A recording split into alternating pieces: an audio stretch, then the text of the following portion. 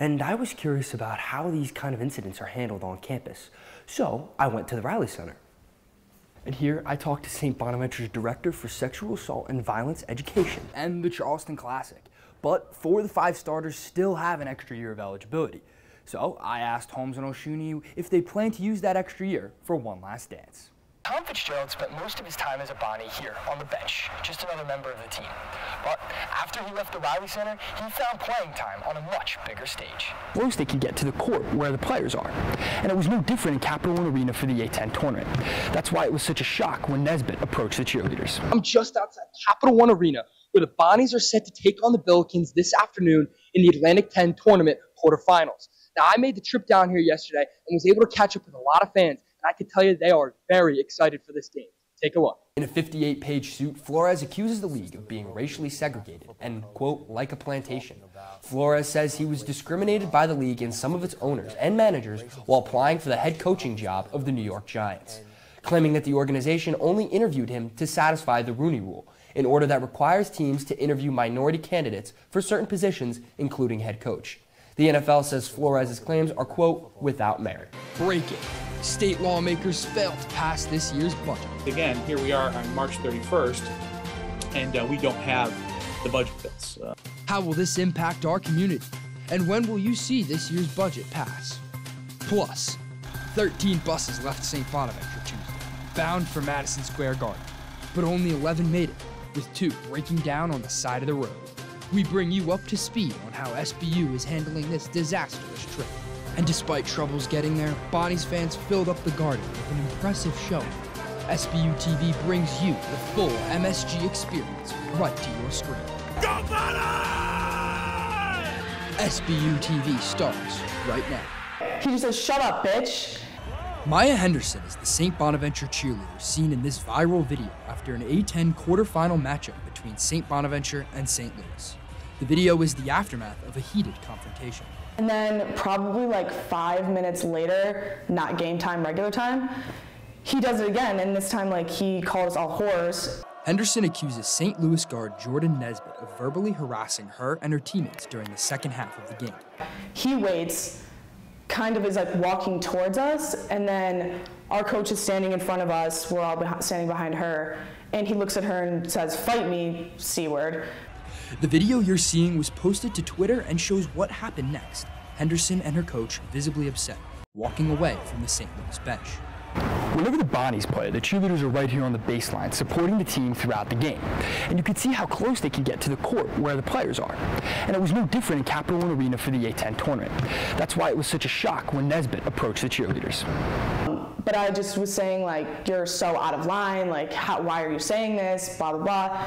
And the security guards are standing back, like, they're almost, they're walking away from the situation as it's escalating. Barb Cuesta, Deputy Director of Athletics at St. Bonaventure, said both SBU and St. Louis are handling the incidents, quote, internally. Wednesday, A10 Commissioner Bernadette McGlade told me the conference is, quote, looking into it. Brian Kunderman, Assistant Director of Athletics at St. Louis, did not respond to my request for comment. St. Bonaventure is yet to release an official statement. For SBU TV, I'm Rich Williams. We couldn't ask any more from St. Bonaventure. And then for what they've done now in this remembrance and the donors, we're so happy.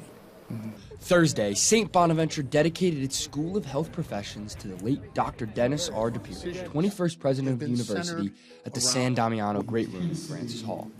Over 150 family, friends, students, and staff attended the dedication, including his older brother, Rich. All of us, our whole family, and his sons and Sherry, they were just taken back by just, just a beautiful day, a beautiful, beautiful remembrance for a wonderful guy. In addition to having the School of Health Professions named after him, the late DePerro was also awarded an honorary degree at the request of the class of 2022. The award is a culmination of a lifelong love for St. Bonaventure. You know, he loved this university. He loved it as a kid. He loved it. We all love St. Bonaventure. I mean, every conversation you had with him centered around the college, the university, and the, you know how the things that they were doing here to, you know, build a, a bolder St. Bonaventure. In just five years, the School of Health Professions has grown to 158 undergraduates and 74 graduate students. Dr. Dennis DePerro passed away in March 2020 after a battle with COVID 19. His legacy at Bonaventure now remembered at the School of Health Professions. For SBU TV, I'm Rich Williams. Gay marriage is, on the, is outside of the government of God. These are comments made by Joel Witcher, principal of Olean Middle School, and his wife Pam, who is co pastor with him at Fresh Fire Worship Center. Posted on Facebook, the video of his sermons upset students and parents about his beliefs. These comments led parents and students to protest Tuesday at the school board meeting. I'm outside Olean High School where people gathered Tuesday night to protest comments made by Witcher. I spoke to some of those protesters to get a sense of why they came out. We don't have a system that's set up to protect our citizens and in particular our students from abusive statements from people who are supposed to be in leadership over them. Um, I don't want my, I raised my kids, my grandkids to be accepting of everyone. And the message that this principal is putting out there is not, not that. Other Olean community members did attend the board meeting to express their support for the principal. I did reach out to Mr. Witcher multiple times through phone call and email, but he did not respond. Olean School Superintendent Rick Moore declined to comment on the situation, citing it as an employee matter. And Wednesday, students held their own protest after school. They've also created a petition to have Mr. Witcher removed from his position. The petition currently has over 1,700 signatures. For SBU TV, I'm Rich Williams. If you have driven through St. Bonaventure's campus this week, you may have noticed a bit of construction happening. The university is putting in a new St. Bonaventure sign and a patio to go along. For many years, the St. Bonaventure hedges were a staple of campus, but in 2017 they were taken down to the dismay of some alumni. Really nice out people kind of hang out in that lawn area, but I don't know, it's more just like an aesthetic thing. Just you just like knew it just like it was there, I guess.